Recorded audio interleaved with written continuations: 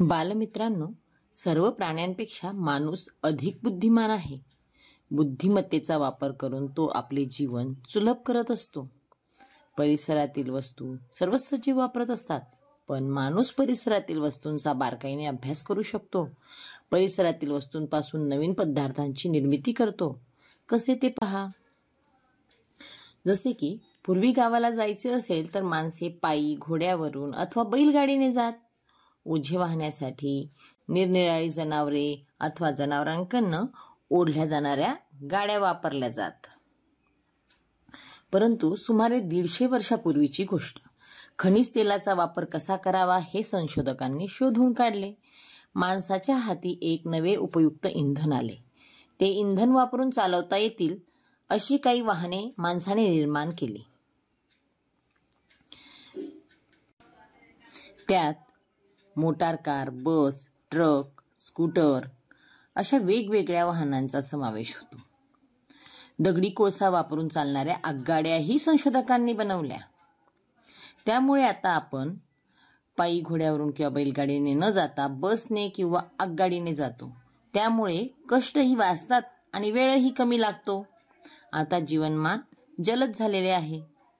आपले जीवन अधिक सुलभ आणि समृद्ध व्हावे म्हणून आपण निरनिराळ्या योजना हाती घेतो. पाण्याची गरज भागावी म्हणून आपण धरणे बांधतो. वाहतुकीसाठी रस्ते आणि लोहमार्ग निर्माण करतो. गरजेच्या वस्तू तयार करण्यासाठी कारखाने काढतो. प्रत्येकाला निवारा हवा म्हणून नवनवीन घरे बांधतो.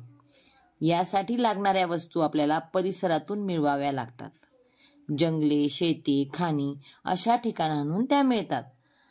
कारखान्यात वापरून घाण झालेले पाणी नदीत सोडतात. संपूर्ण परिसराचे प्रदूषण होते. जलप्रदूषण वायू प्रदूषण भूप्रदूषण या साऱ्यांचे परिणाम परिसरावर होतात. परिसराची हानी होऊन त्याचे सजीवसृष्टीवर वाईट परिणाम होतात. मग मानव प्राणी तरी त्यातून कसा सुटेल? गेल्या साठ वर्षात आपल्या देशाची लोकसंख्या तिपटीने वाढली. अजूनही ती वाढतच आहे. आपण ज्या वस्तू परिसरातून गरजेपोटी घेतो त्यांची मागणी अतोनात वाढली आहे. मागणी वाढली व उत्पन्न कमी झाले.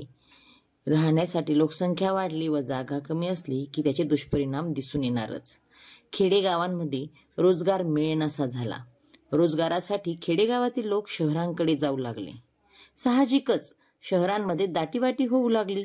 शहराची लोकसंख्या तर अतोनात वाढली कारण खेडेगावातील लोक रोजगारासाठी शहरात येऊ लागले.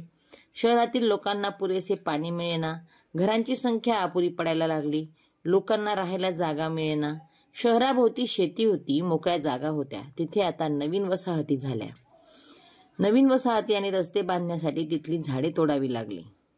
शहरांमध्ये कामावर जाण्यासाठी खूप मोठी अंतरे पार करावी लागतात. म्हणून शहरातले लोक वाहने खरेदी करू लागले. सगळ्याच मोठ्या शहरांमध्ये ही वाहने धूर ओकत फिरू लागली. शहरातल्या हवेत हा धूर मिसळू लागला. त्याचा परिणाम म्हणून शहरातील लोकांना श्वसनाचे विकार होऊ लागले. दमा आणि फुफ्फुसाचे विकार या व्याधींचे प्रमाण वाढले. शहरातून झाडे हद्दपार झाली. त्यामुळे पक्ष्यांना घरटी बांधण्यासाठी जागाच मिळेनाशी झाली. पक्षी होरपळू लागले. शहरातल्या हवेत धूर मिसळू लागल्याने त्याचाही त्रास पक्ष्यांना होऊ लागला. तहान लागली की पक्ष्यांना पाणी मिळेल याची खात्री नसते.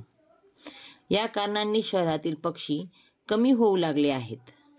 त्यांचा नैसर्गिक अधिवास आपण हिरावून घेतल्याने फुलपाखरे आणि इतर कीटक यांचीही संख्या रोडावू लागली आहे. लोकसंख्या वाढल्यामुळे कधीकधी शहरात सांडपाण्याची व्यवस्था कोलमडते. त्यामुळे भर वस्तीत पाणी साचते. त्यात डास वाढतात. डासांमुळे हिवताप डेंगी हत्तीरोग चिकनगुनिया या रोगांचा प्रसार होतो. सर्वत्र दुर्गंध आणि अस्ताव्यस्त जीवनशैली दिसून येते.